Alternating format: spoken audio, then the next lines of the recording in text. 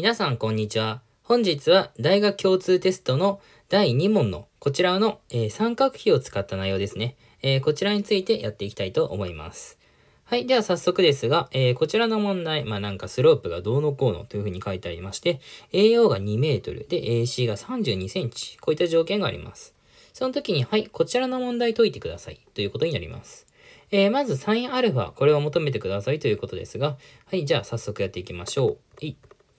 はい。ということで、えー、まずこれ、はい。斜めが200で、AC が32というふうに言ってますので、sin アルファ。はい。えー、sin アルファというのは、はい。斜め分の縦になりますので、AO 分の AC。で、計算してあげると、0.16。はい。こんな感じで答えることができます。で、こちら2ページ先に三角比の表がありますが、まあ、こちら確認していただくと、えー、アルファは8とよりも大きいというふうにわかるため、えー電動車椅子ですね。えーこちらは、えー平行に、ね、スロープを上がることができないというのがわかります。では実際に上がるためにどうすればいいかということで、まあ元々のこれをちょっと斜めにしてあげることによって、まあ角度を緩やかにしようということですね。えーでは、それで実際に、まあこういう風になった時に、この AOP、この角度 θ として、で、ここの POQ、この角度を β という風にするときに、この関係性について調べていきましょうというのを次にやっていきます。はい、さて、では行きましょう。い。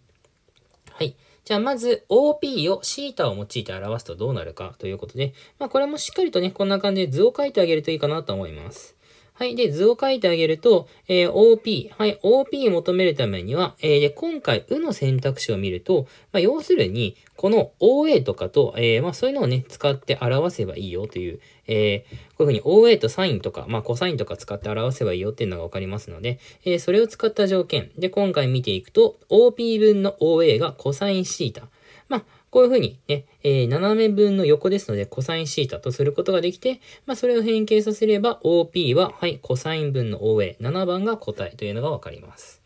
はい。では続きまして、えーえ、はい、サインベータはどう表せるかということですが、まあ、サインベータ、えーで、今回はもう、これですね、OA とか OP とかそういうのを使って表してませんので、じゃあサインベータどう表せるかなって確認すると、えーそれはもともと OP 分の PQ。こんな感じで表すことができます。えーそうすると、OP というのは、まあ、結局、ここで求めたコサイン分の OA とすることができて、PQ、PQ っていうのは同じくこの高さになりますので、高さっていうことは結局 AC と一緒。つまりこんな感じに変形することができて、OA 分の AC、これは最初にやった AO 分の AC、サインアルファと一緒ですので、えーサインアルファ、コサインシータ、えーこういうふうに答えを出すことができます。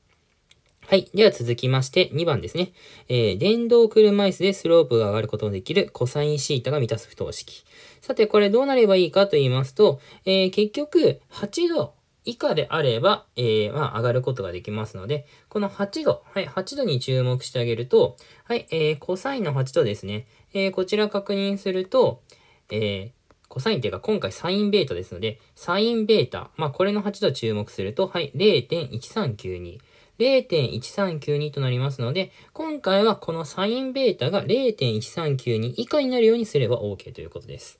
で、サインベータはさっきの問題で、サインアルファ、コサインシータと一緒というふうに分かったので、こうすることができまして、で、サインアルファは、はい、上で求めましたよね。もともと0.16です。なので、0.16で割ることによって、コサインシータ、ね、というふうに出すことができまして、コサインシータは、まあこれ計算すると0.87以下になればいいよというのがわかります。はい、そしたらあとはこれ三角比の見ていただくといいんで、0.87に近い値っていうのを考えていきますと、はい、こちら拡大しまして、えー、まあこの29と30、ここら辺で、えー、コサイン29が0.8746。ね、で、えーコサイン30度が0.8660。こんな感じにすることができますので、シータの値、0.87以下になればいいということなので、えーこれを満たす最小のシータは30度。こういうふうに答えることができます。結構こういうふうに活用する問題、まあ三角比の表を使う問題とかも割と出てきやすくなってきますので、しっかりと押さえていただくといいんじゃないでしょうか。それでは、えーおしまいになります。